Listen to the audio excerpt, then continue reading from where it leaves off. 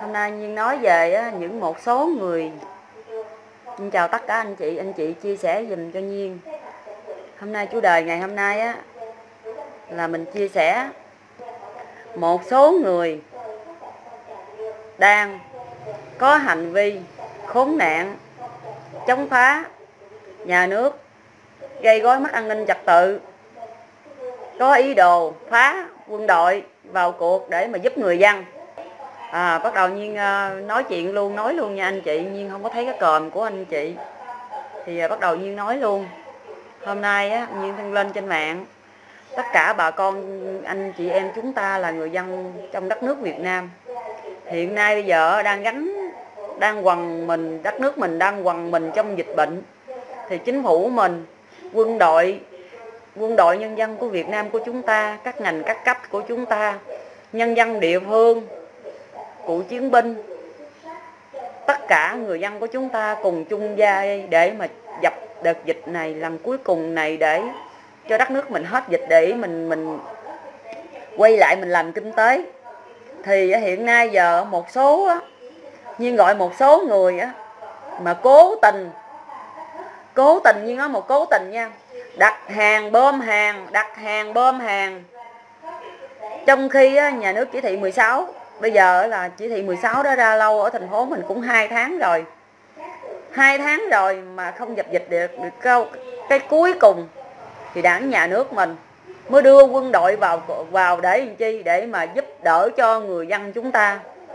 Là nhà nào ở yên nhà nấy, để làm chi? Bộ đội, công an và chính quyền địa phương phối hợp với nhau để mà giúp đỡ cho bà con giúp đỡ cho bà con đây là sao? Hàng thiết yếu, cung cấp hàng thiết yếu cho bà con. Rau củ quả đưa tặng nhà cho bà con. Bà con có bệnh thì có quân đội vào, có bác sĩ quân đội vào để để mà để mà trị bệnh cho người dân. Rồi á, rồi trong nhà cái người mà F1 á F0 thì cũng là quân đội vào để trị bệnh cho bà ờ, người đó. Rồi cái người trong nhà đó, năm bảy người F1 cũng trị tại nhà luôn. Rồi trong cái hộ đó có đói, bộ đội, công an, chính quyền địa phương. Chính quyền địa phương cung cấp thực phẩm cho bà con từ thức ăn, hàng thiết yếu thức ăn, thức uống, rau cá, rau củ quả, thịt, thực phẩm cho bà con ăn. Rồi á, một số bà con anh chị em nào mà muốn ăn sang, ăn ngon gì đó, thì đặt hàng nhờ chiến sĩ, lực lượng, công an hay bộ đội. Chiến sĩ bộ đội để mà mua đồ, dùm. Thì bắt, bộ đội chúng ta sẵn sàng đã giúp đỡ cho bà con, đã đưa quân đội vào để mà phối hợp công an phối hợp công an, phối hợp chính quyền địa phương để giúp đỡ cho bà con tận tình. Bà con không ra nhà đợt này là sao? Chính phủ là ra một cái đòn như vậy để cứu mạng người dân. Mà một số người dân cố tình đặt hàng rồi không lấy. Anh chị nghĩ đi, có phải cái loại này mà gọi loại phản động không? Loại chống phá nhà nước không? Em chào anh Nguyễn Hữu Nhàn. Đau lòng không anh chị? Đặt hàng rồi không lấy không lấy hàng đặt một đơn hàng đâu phải là ít đâu anh chị. Khi bộ đội chúng ta đã vào rồi á chiến sĩ bộ đội vào cuộc rồi á thì đã làm bộ đội là giúp dân rồi thì tiền ở đâu? Đặt hàng rồi để mà đem về cho cái người đứng trước cửa nhà rồi gọi ra lấy không chịu lấy. Tới chừng chiều gọi lại chiều, chiều gọi lại gọi lại sau đó em tưởng đâu em đặt hàng vậy á, rồi á, em lấy lại là, là, là không có tốn tiền có phải loại này là loại phản động không anh chị? Loại chống phá nhà nước không anh chị? Loại gây gối mất an ninh trật tự không anh chị? Thật sự đau lòng không anh chị?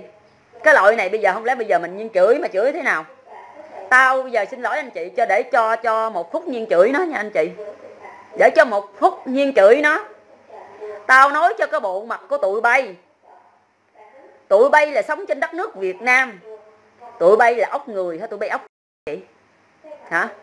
Trong lúc này ngày đêm tao nói tôi tụi cái tụi mà mà đặt hàng của chiến sĩ bộ đội mà không lấy hàng tụi bay ốc người hay là tụi bay ốc chó gì? Tụi bay ốc gì? Tụi bay phải là con người không? Không có tính người, tụi bay mới làm những cái điều đó. Tụi bay mới đặt hàng rồi, tụi bay không lấy hàng. Trong khi chiến sĩ đã quằn mình sáng đêm, đã chạy lo từng miếng ăn, miếng uống, lo từng viên thuốc cho người bệnh như vậy mà tụi bay sống như thế nào? Tụi bay sống mà tụi bay đặt hàng rồi tụi bay không lấy. Tao thái ngọc nhiên, tao chửi thẳng cái con nào mà thằng nào đặt hàng. Chiến sĩ, bộ đội, công an mà không lấy hàng đó. Tao thái ngọc nhiên chửi tụi mày đấy. Tụi mày thấy không? Hiện nay giờ ai lo cho dân? Tụi mày sống, tụi mày mơ nước mỹ. Lúc mà quằn mình bệnh hoạn này, ai vô cứu tụi bay? Ai cứu gia đình tụi bay? Hả? Hiện giờ nhà cấp nhà nè, người dân nhà cấp nhà nè, bệnh f0 f1 nè, một cái hộ gia đình đó, tao hỏi tụi bay. Rồi những cái người mà chết đó, ai lấy xác? Ai đi thiêu? Đảng nhà nước mà không đem bộ đội vào phối hợp với công an, phối hợp chính quyền địa phương, phối hợp với người dân, thì tao hỏi cái bọn mà đặt hàng không lấy đó. Ai là người cứu người dân? Tụi mày có cứu người dân được không?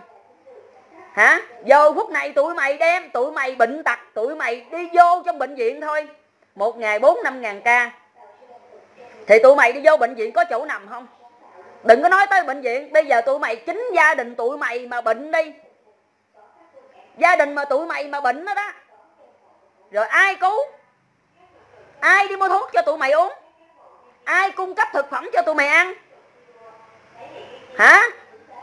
Sao tụi mày khốn nạn vậy? Tụi mày biết khóa hoại không vậy?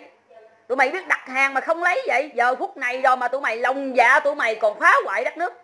Tụi mày còn ác ôn như vậy vậy? Nhiên xin lỗi anh chị, nhiên đang chửi bọn phản động. Nhiên xin lỗi anh chị, nhiên đang chửi bọn phản động. Để cho nhiên chửi nó. Chứ bây giờ á, chính phủ mình công an của mình quá mềm mại rồi, cho nên nó mới lộng hành kiểu này. Tới giờ quân đội vào cuộc, phối hợp với công an, phối hợp với chính quyền địa phương để mà cứu người dân trong lúc này. Mà giờ ta đi đi vào là nhà cấp nhà rồi. Cái người bệnh, ai lo cho người bệnh đây? Có phải quân đội, công an, chính quyền địa phương lo cho cái người bệnh đó không? Rồi cái người F1 trong gia đình đó có phải là bộ đội, chính quyền địa phương lo không?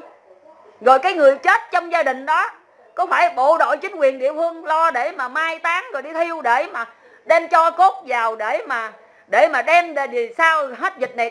Ra giao, giao tặng tay cho một cái gia đình đó không? Mà cái lũ chúng mày đặt hàng là chúng mày giờ phút này chúng mày không yêu thương. Chúng mày không đặt mình vào cho những chiến sĩ bộ đội công an chính quyền địa phương và phối hợp với người dân để mà để mà cùng chia sẻ cái nỗi đau này mà tụi mày nỡ lòng nào mà tụi mày quậy phá vậy? Hả? Đây một bài viết mà nhiên đưa lên trên cái trang facebook đó, anh chị. Đau lòng không anh chị? Anh chị thấy đau lòng hay không? Anh chị thấy đau lòng không? Nó đặt hàng nó không lấy, anh chị có thấy đau lòng không? Bà con cô bác, anh chị em cộng đồng mạng, cả nước có đau lòng cho cái lọ thể loại mà nó đặt hàng. Nó ra đơn hàng bốn năm trăm ngàn một đơn hàng, bảy tám trăm ngàn một đơn hàng 2 triệu đồng một đơn hàng. Rồi nó không lấy không, bà con cô bác, anh chị em. Cái loại này nó quá khốn nạn như vậy, chúng ta có cần lên án không, bà con cô bác, anh chị em? Trong cái khi mà cái loại thuốc mà phải là nó kêu nó nó nó kêu chiến sĩ bộ đội mình nó phải đi mua cho nó mà phải chạy con qua con đường này, con hẻm kia. Trong khi dịch bệnh như vậy, khi mà trên đường đi mua mua được rồi thì nó gọi điện. Tôi đã có rồi, đừng mua. Anh chị thấy nó khốn nạn cỡ đó không anh chị? Cái thành phần này có nên chửi không anh chị? Cái thể loại mà đặt hàng rồi mà mua rồi mà bây giờ á, mà nó không lấy như vậy, hỏi anh chị còn mềm mại nữa không anh chị? Trên sống trên đất nước Việt Nam mình, chỉ có chính phủ mình, công an mình là thương dân như con như vậy. Chứ có anh chị nhìn hết cả thế giới, nhìn ra thế giới coi. Thế giới ở bên ngoài nó có đối xử dân của nó như đất nước mình, yêu thương dân như như như đất nước Việt Nam hay không? Nhiên lên án những cái thành phần nào? Nhưng kêu gọi cô bác anh chị em nào mà biết cái thành phần nào mà nó đặt hàng không lấy hàng đó. Các chiến sĩ bộ đội công an á thành phần nào mà nó đặt hàng nó không đưa hàng đưa tên đưa tuổi đưa cái mặt nó lên. Để cho cả nước biết cái bộ mặt nó là nó đang gây gối mất an, an ninh trật tự nó chống phá nhà nước. Như vậy đó để cho tất cả mọi người vô chửi sắp mặt nó trong lúc mọi người quằn mình với dịch covid 19 chính quyền dầm mình quyết liệt chống dịch. Những con ờ, con số cá nhân vô ý thức, nó muốn đùa cợt. Để giải chết đó anh chị. Giả khùng á, cái thành phần này á, nhưng nó thật lòng á anh chị, chỉ có bọn phản động thôi. Chớ người dân mà cùng để mà chia sẻ gánh nặng với đất nước quần mình á, với chính phủ mình hiện nay giờ đau đớn vậy không có ai mà nở lòng nào mà đi làm những cái trò khốn nạn mất dạy như vậy. Với anh chị đùa cợt với bộ đội chiến sĩ hết anh chị. Anh chị nghĩ đi, mình cũng là người dân, bộ đội là cũng là người nhân dân đi ra, đúng không? Anh chị ngủ được á, ở trong nhà được chăn im niệm ấm, mà trong khi các chiến sĩ, bộ đội, công an, chính quyền, địa phương đâu có được ngủ yên giấc đâu anh chị. Không có được ngủ yên giấc anh chị biết không? Lo cho người dân rồi nhằm khi đi phát cơm, phát gạo ở đâu cơ phát cơm, phát gạo á. Công an, bộ đội hiện nay bây giờ các ờ, trong nước mình các địa phương ở trong nước mình luôn, ở trong tỉnh mình, rồi địa phương trong nước mình á. Ở đâu mà dân đói rồi đó là bộ đội phải đi phải đi cấp, đi từng nhà, gõ từng nhà để mà phát gạo cho từng nhà sáng đi anh chị biết không? Còn đi canh gì? Còn đi hả? Đi canh chốt? Đi gác chốt sáng đêm nữa anh chị. Để làm chi? Sợ đây á, cái người mà chạy xe tải đó bị nhiễm bệnh nhiễm bệnh rồi đi qua lây cộng đồng lây cho người dân chúng ta. Là đang làm gì? Đang bảo vệ người dân như vậy đó mà có một số người thành phần phản động. Thành phần phản động nó mới là làm với người dân của chúng ta như vậy thôi anh chị thành phần chó má, thành phần xúc vật. Nó mới đối xử với chiến sĩ, bộ đội, chiến sĩ công an như vậy thôi, anh chị. Chứ con người mà tốt, con người sống cho đất nước, con người mà nghĩ đặt mình vào hoàn cảnh chiến sĩ, bộ đội. Các ngành, các cấp hiện nay bây giờ thì không có ai làm những cái điều chó má khốn nạn đó đâu, anh chị. Chỉ có thể loại là con người đó đó. Đầu, thân xác nó là con người. Nhưng mà sao? Đầu óc nó là chó, là súc vật cho nên nó làm những cái điều xấu xa đó để mà quậy phá. Đau lòng không anh chị? Nó bơm một đợt hàng vậy đó là 400 ngàn 700 ngàn 2 triệu.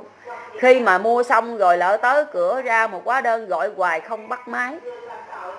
Gọi hoài không bắt máy. Tới chừng bắt máy, anh nó tới chừng chiều á. Mấy tiếng đồng hồ sau tới chiều nó gọi lại. Anh ơi, em, anh anh gọi em hả? Cái chiến sĩ nói ờ có đặt hàng đặt hàng đó chị có lấy ờ, em mua cho chị rồi. Anh ơi em đặt hàng anh tưởng nó mua anh mua cho em anh không lấy tiền bây giờ lấy tiền thì em không lấy. Bộ đội công an làm gì có tiền? Hả? Bộ đội công an á, đi làm nhiệm vụ á, giúp cho đời cho đất nước rồi làm gì có tiền. Sao mở miệng ra khốn nạn vậy tôi bay? Em nhiên xin lỗi anh chị nha. Nhiên đang nói chuyện với bọn phản động. Nó xem được cái clip này thì nó sẽ thấm, nó sẽ đau. Mong sau qua clip này tụi bay có chống phá. Tụi bay cầm cái mồm, tụi bay lại. Hiện nay tụi bay làm như điều đó là bay đang có tội với đất nước, có tội với người dân đấy. Không có bộ đội, không có chiến sĩ bộ đội công an, chính quyền địa phương thì cái người dân ở thành phố hiện nay hay người dân Bình Dương, Đồng Nai hiện giờ ai là cứu?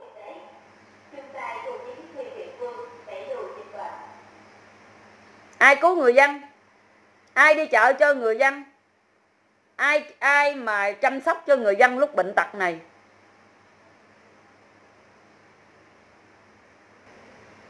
Mua hàng mà bọn chúng không lấy thì đưa cho chính quyền địa phương làm việc với bọn chúng chắc em nghĩ là cũng, chắc cũng có biện pháp đó anh. Chắc có biện pháp đó. Mong sao những cái thành phần á, mà đùa cợt cái chiến sĩ bộ đội công an, hiện nay trong cái mùa dịch bệnh này,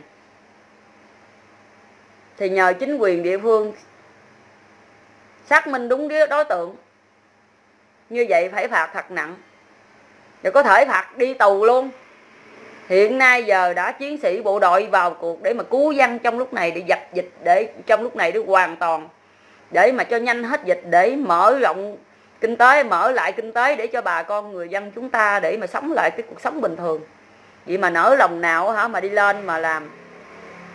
Vậy mà nở lòng nào hả đi lên hả mà gọi điện để mà chọc phá, rồi đặt hàng không lấy? Bộ đội chiến sĩ, công an làm gì có tiền? Đi phục vụ cho người dân là làm gì có tiền. Lương ba đồng ba cọc. Mỗi ngày á, lương đó tiền điện thoại đó. Một tháng lương của công an bao nhiêu? Lương của công an bao nhiêu? Một tiền nè. Tiền hiện nay giờ tiền cà phê tiền ăn sáng. Tiền gì? Tiền uh, uh, này tiền kia. Vợ con ở nhà nữa được có bao nhiêu tiền, lương ba đồng ba cọc, được bao nhiêu tiền mà phải chiến sĩ công an phải bỏ tiền ra mua? Chiến sĩ công an đã phục vụ cho đất nước, phục vụ cho nhân dân. Chiến sĩ bộ đội, bên bộ đội cũng vậy. Giúp đỡ như vậy mà nở lòng nào thật sự. Nhưng đọc những cái bài đó, những cái bài viết của các anh chị mà đưa ra thật sự đau lòng. Đau lòng lắm anh miền tây. Nhưng mong sao tất cả anh chị chúng ta lên án mạnh mẽ những thể loại này. Nhưng chào anh chị nha.